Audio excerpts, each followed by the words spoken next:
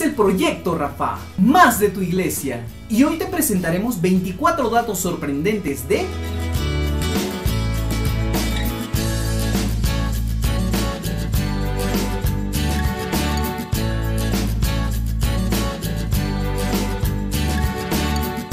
San Gregorio Nacianceno fue un famoso teólogo, orador y defensor de la fe cristiana católica en el siglo IV.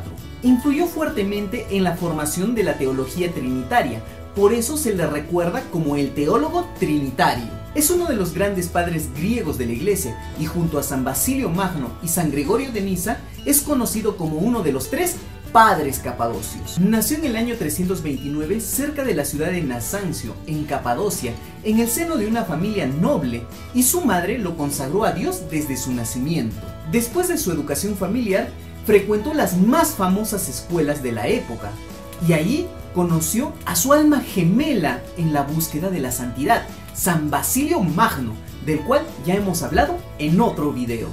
Al volver a casa, San Gregorio recibió el bautismo y durante dos años se dedicó a la meditación filosófica y espiritual, junto a su gran amigo San Basilio Magno, vida que disfrutó y amó profundamente.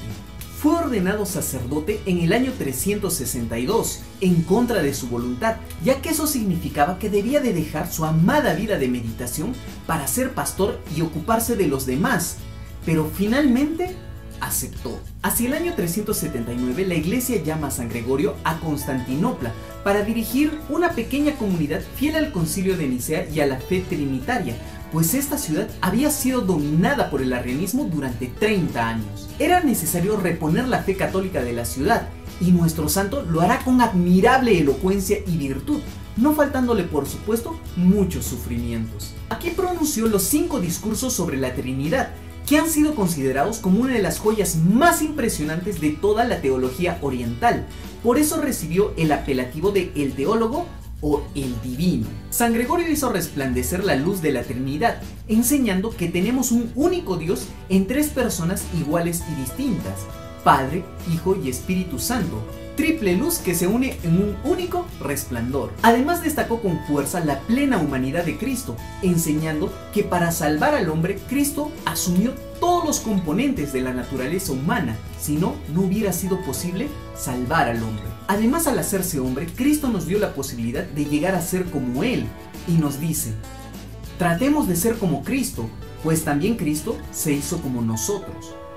Cargó con lo peor para darnos lo mejor. Por eso María es Teotocos, es decir, Madre de Dios, pues le dio la naturaleza humana a Cristo y con miras a esta santísima misión fue purificada por el Padre anticipadamente un lejano preludio de lo que sería el dogma de la Inmaculada Concepción. Poco después, un filósofo cínico llamado Máximo logró engañar al santo y apoderarse de su cargo de obispo, por lo que el santo decide retirarse y volver a su añorada soledad. Sin embargo, el pueblo no lo permitió y le suplicó a gritos, quédate con nosotros, de lo contrario, se irá contigo también la Trinidad. En el año 380 las cosas se arreglan con la llegada del nuevo emperador Teodosio, el cual expulsa a Máximo y restaura la unidad católica, conduciendo a San Gregorio a la cátedra episcopal entre una multitud que aclama delirante.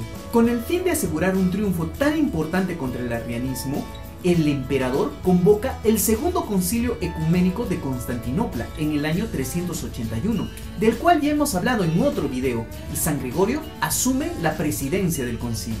Pero inmediatamente se levantó una fuerte oposición en su contra, que lo obligó a renunciar a ese cargo.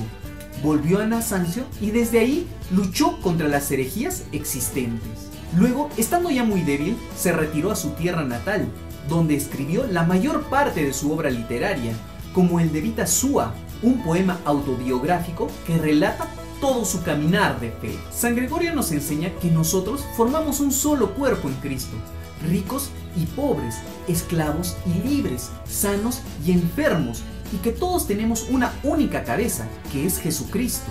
Y como sucede con los miembros de un solo cuerpo, cada uno debe ocuparse de los demás, y todos de todos.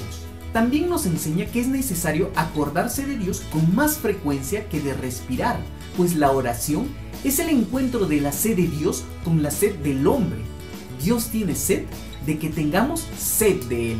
En la oración debemos entregarnos como ofrenda que ha de ser purificada y transformada, pues en ella vemos toda la luz de Cristo, nos quitamos nuestras máscaras y nos sumergimos en la verdad y en la escucha de Dios, alimentando el fuego del amor. Con aproximadamente 60 años en el año 390, Dios acogió a este siervo fiel entre sus brazos, que lo había defendido con aguda inteligencia y que le había cantado con tanto amor en sus poemas. En conclusión, San Gregorio Nacianceno fue un hombre de profunda oración, pues para hablar de la Trinidad hay que adentrarse en la Trinidad. Por eso es el orador trinitario. De ella habla y a ella se dirige, a la vez que proclama sin rodeos la divinidad del Espíritu Santo. Si este video te gustó, dale like y compártelo con tus amigos y suscríbete a nuestras redes sociales que encontrarás aquí abajo en la descripción del video y síguenos para aprender mucho más de nuestra iglesia.